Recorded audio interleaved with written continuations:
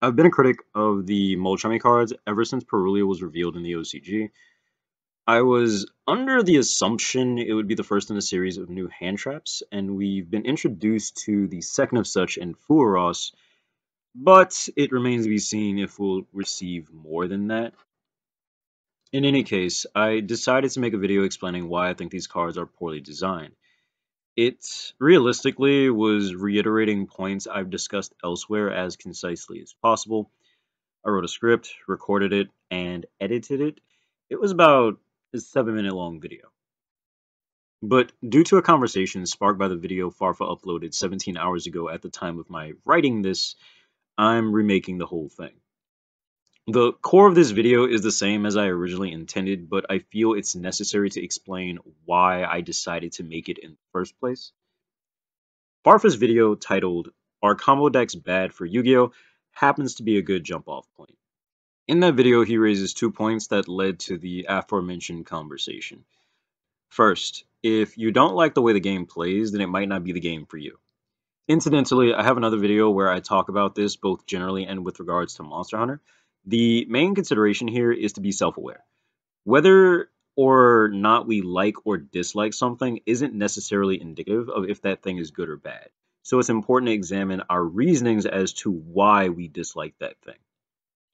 If I dislike playing a game, is because I dislike the mechanics, their execution, or a combination of the two, for example.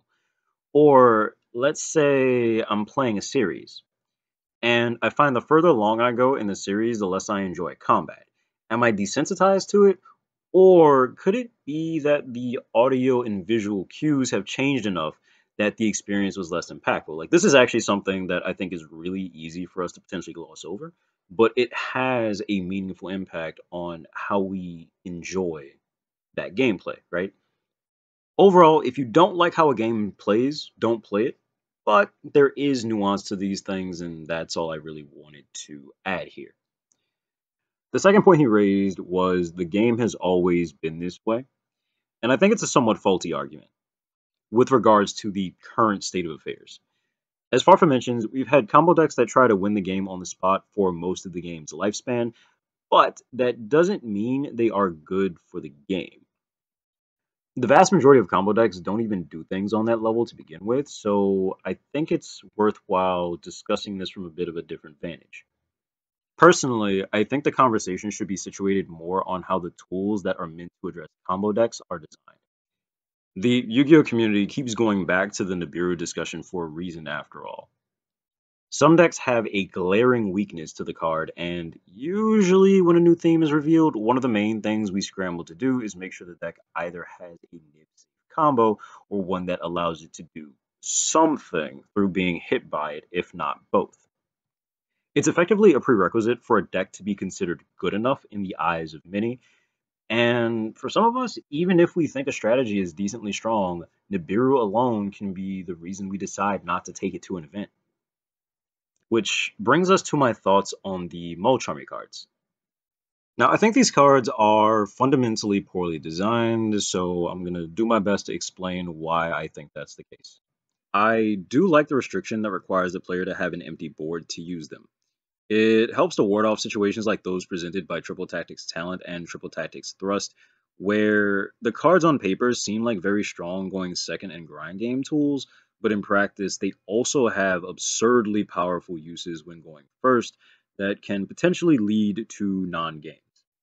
This restriction doesn't have the main underlying issue Maxx C does, where a player can build a board, possibly while preventing the resolution of their opponent's Maxx C, then utilizing their own while their opponent attempts to scale the wall they place down in front of them. But this doesn't mean similar situations cannot happen. If the going first player gets their board removed by something like a lightning storm, they could still resolve a Mulcharmy card. On its own, I think this is kind of okay. But let's say you're playing against a deck that has primarily graveyard-based interactions. If you clear your opponent's board, they'd potentially be able to chain either of the Mulcharmy cards at resolution as chain link 1, and follow them up with any floating or graveyard effects.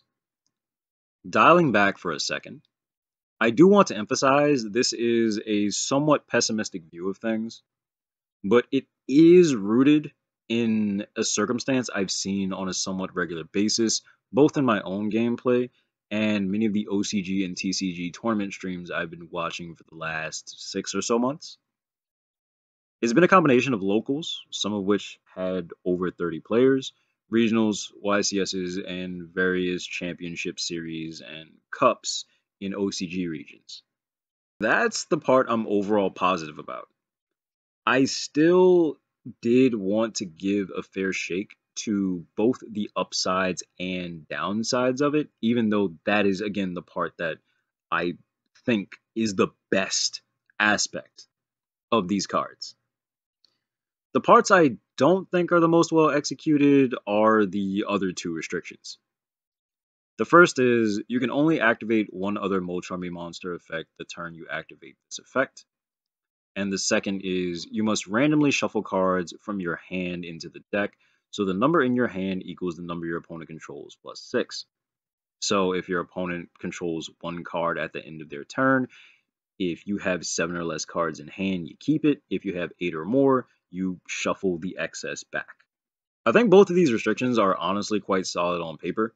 The former limits the number of Mulcharmy cards we'd want to see and means we cannot keep stacking them. The latter means if we heavily impact our opponent's board, we don't also get to keep a massive hand. However, when we begin to scrutinize them, it's very apparent that two of the same Mulcharmy card can be activated in one turn. I believe the YCS where Purulia was first legal, this happened in Top Cut. In a matchup where these cards are good, one player resolving two copies of either can and usually will be very damning for the opponent. I think the first effect really needed with a different name from this card tacked on to the middle to curb those types of blowout situations. And this isn't even considering it's entirely possible to draw into a second copy off of the first. And of course, depending on what's going on in your matchup, you just use it immediately. For the second point, the effect is so lenient in practice, the likelihood of the person who activates the Mulcharmy card actually needing to shuffle back anything is quite low.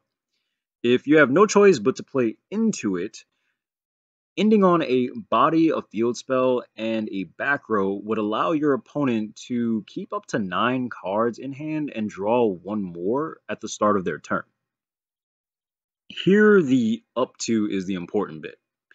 In the hypothetical I presented, the player who activated a Mulcharmy gets to keep everything as long as their hand does not exceed 9 cards by the end of their opponent's turn.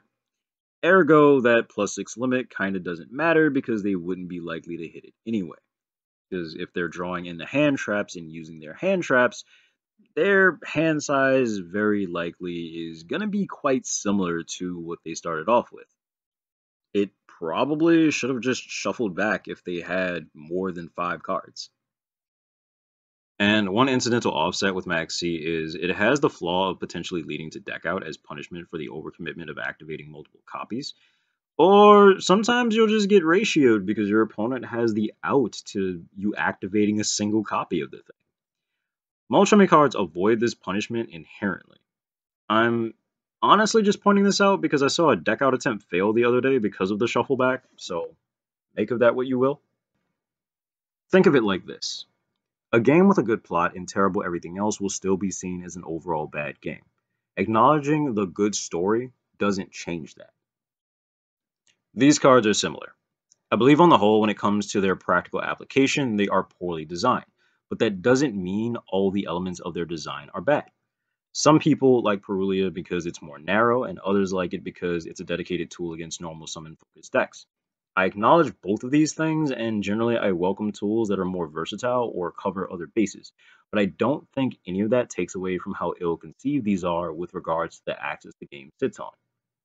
And like, Obviously, the gameplay paradigm these two, Droll and Maxx C force, are all abhorrent to deal with.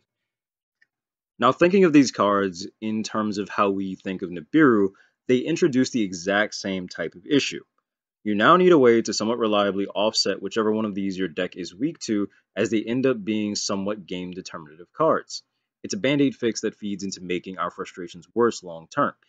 And I think a lot of people do gloss over the fact that Purulia is really, really strong against link strategies. Now, don't get me wrong, Furos is going to be the stronger card in the vast majority of situations, but most link strategies search cards out, add them to hand, and then summon them from hand.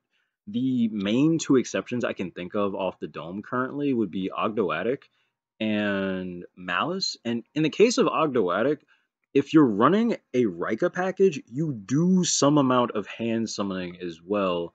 So it's not the craziest thing, but even that could incidentally end up getting hit by Purulia. So, you know, it's worth considering. It's worth talking about. I honestly watched Farfa's video around two hours after it first had been uploaded, and a lot of what uh, these bozos mentioned were thoughts I had at the time without a cohesive link to bind them together prior to our 2 a.m. conversation. On one hand, the card design arms race we seem to be dealing with has unnecessarily turboed us into a situation where some of the more recent combo decks are wholly overtuned. Extremely thin core packages and the ability to run an absurd amount of non-engine coupled with the fact that people are finally engaging with the idea that running a higher card count doesn't necessarily mean your deck is more inconsistent. Shout out to that one Mark the Page video, by the way. When it comes to engaging with an opponent's board, we've always had four options at least.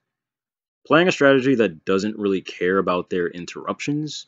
I think Metacalls fall into this category, but trap decks are a huge proponent of this, whether it's Labyrinth, Eldritch, or Altergeist. Stopping the combo wholesale, which is something we need to deal with Dark World's hand loop foolishness. And the last two would be breaking their board and or playing into it. In comparison to the screenshot I've provided, I've always viewed board breaking as something that is rarely a full measure. You disable and potentially remove components of the opponent's board while attempting to establish something on your own end. There are a number of decks that are more well suited to simply playing into a board for the same end result. But the recent trend of many inboard bodies being 3000 or more attack has pushed things to a point where in many cases there is a need to completely clear a board to avoid losing immediately on the crackback. This is also why I keep pointing the Blazar stat line when discussing that card, it's extremely relevant to being able to engage with it. The Lightning and Double were individually extra deck staples for a while because being able to boost your stat line for combat based removal was that important. Like, remember when Diamond Crab was used to out towers because the EU didn't have anything better? In summary, I think the Mulcharmy cards are not that well designed, even though I think elements of their design are good the way they are structured leads into the exact things we've said multiple times that makes going second so hard. But now it's being applied to the going first player. I'd love to be proven wrong, but I think these are cards we would have been better off without. And I could talk about the game's overall orientation for hours, but I have to, you know, play some bullshit now.